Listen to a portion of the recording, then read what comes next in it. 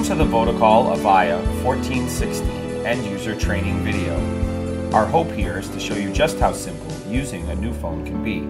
We believe with some basic training and a little practice, this phone will be part of the best phone experience you've ever had.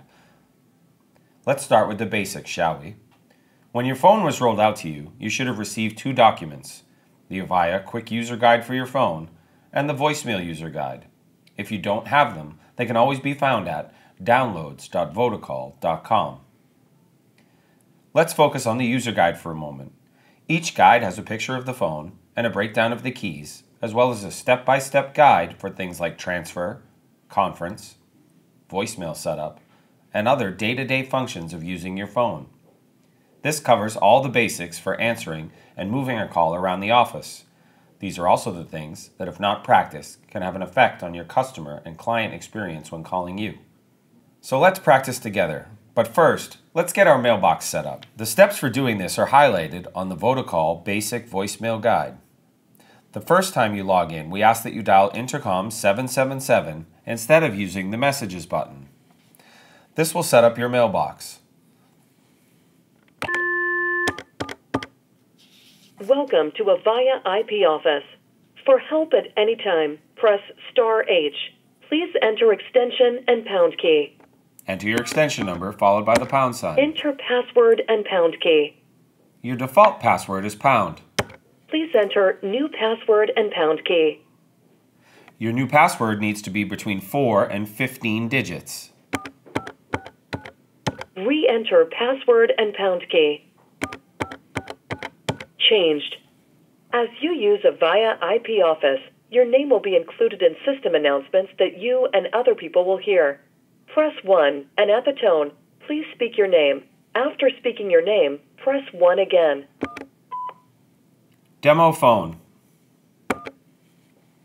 Demo phone.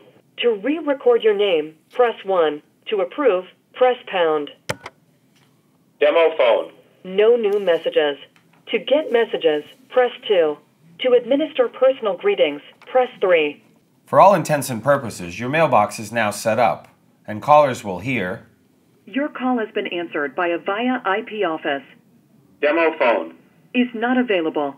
To leave a message, wait for the tone. Should you want to record a personalized greeting, then continue on to the steps in your guide and press 3. For all calls, this system greeting active. To listen to greeting, press 0. To create, change, or delete a greeting, press 1. Press To 1. Act- greeting, not recorded. When finished recording, press pound to approve or 1 to edit your message. Record at the tone. Demo phone. Demo phone. To re record your name, press 1. To approve, press pound. Should you want to record a personalized greeting, please continue on to the additional steps in your guide by pressing 3. Your mailbox is now set up, and you're ready to make your first call. First, we'll try an internal call. To place an internal call, press either of your two intercom buttons and then dial the extension number. Or you may page the person by pressing either of the intercom buttons, hitting star, and then dialing the extension number. First, we'll call extension 11.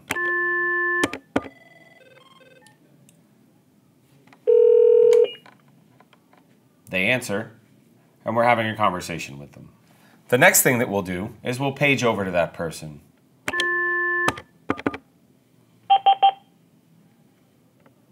That opens up a direct channel so that you can begin a conversation with them.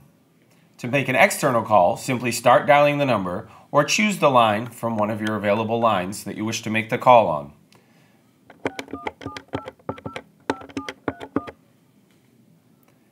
You do not need to dial a 9 in order to make a phone call. To answer an incoming call, either lift the handset, press the speakerphone, or press the button that the call is coming in on.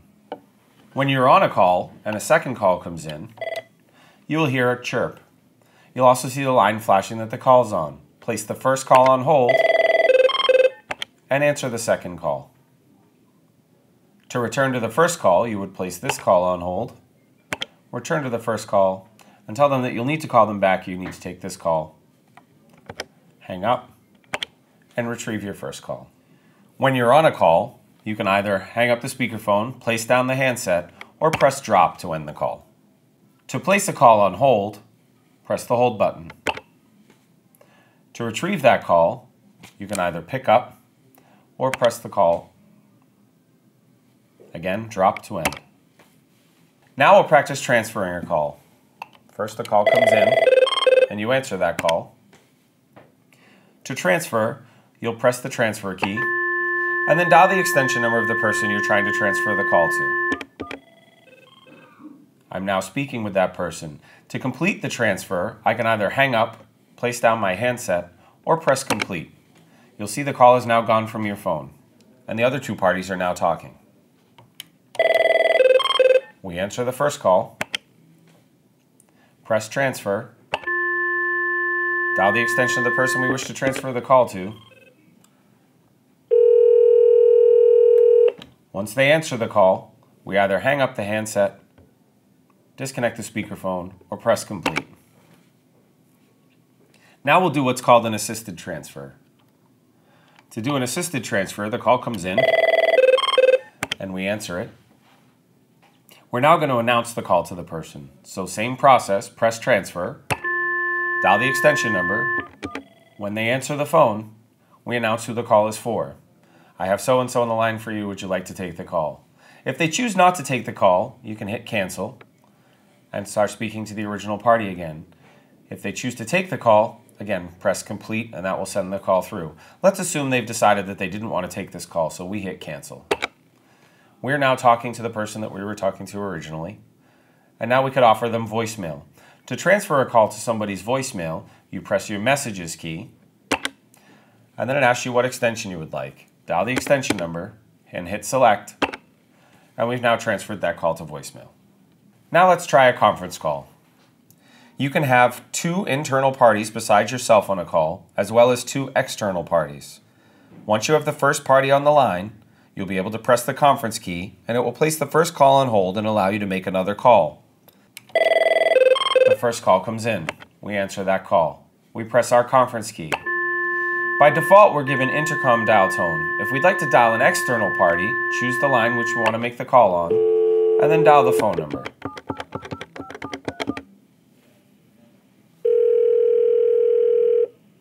Once we have that person on the line, we press conference again and bring the parties together. Now we'll add another call. Press conference, and we'll bring extension 11 into the call. We get them on the line as well, and then we press the conference key again. You'll now see that these calls are on conference. Now that we have all the users on the call, we can press the details information and see who's on the conference call.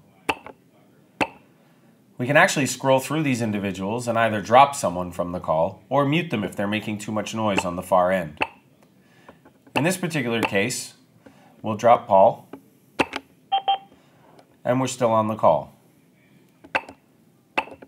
I can also drop myself from the phone call as long as there's someone else from the organization still on the phone call. You'll see that call is now gone and I can see it there still participating. Let's talk about the buttons on your phone you have your messages button, which when you press it gives you something called visual voicemail. When you set up your mailbox, we asked you to dial intercom 777, and that was because that walks you through the process of setting up your voicemail box. When you press your visual voicemail button, it gives you the option to listen to any messages and shows you new, old, and saved. You can scroll down and press the messages key, and that allows you to record a message for somebody else. You can also adjust your greeting as well as record your name, reset your password, and turn your voicemail on and off. We recommend that you don't turn your voicemail off unless required so by your administrator. To the right of that is your dial pad. This will allow you to navigate through some of the other features in the system that you'll see in just a moment.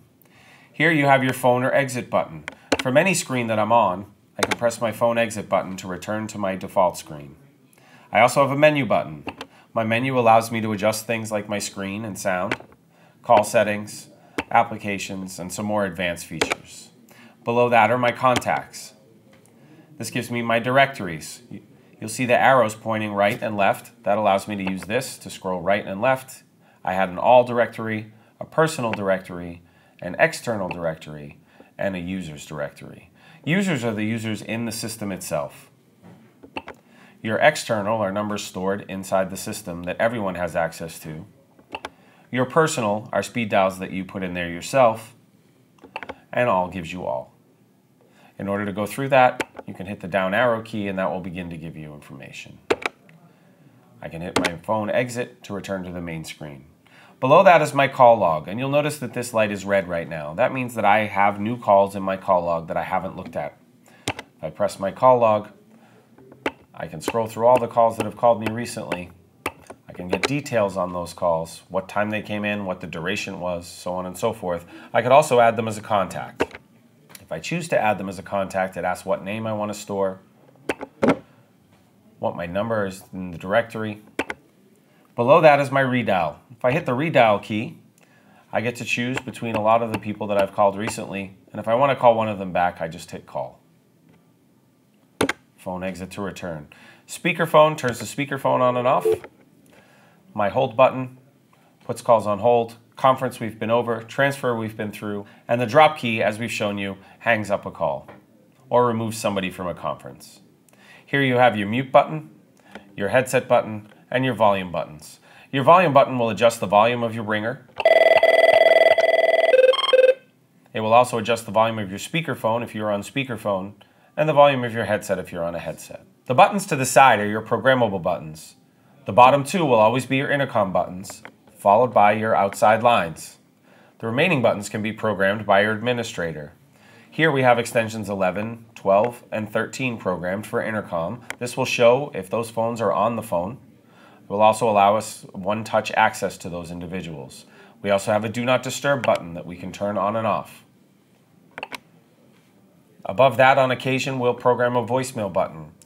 This can be used instead of visual voicemail to get you into your mailbox and is a shortcut to Intercom 777 voicemail transfer button if you'd like to use that instead of your messages button, and your page button, which pages all the phones. If you were to press that, you would hear a beep and your voice would come out through all the phones in the office.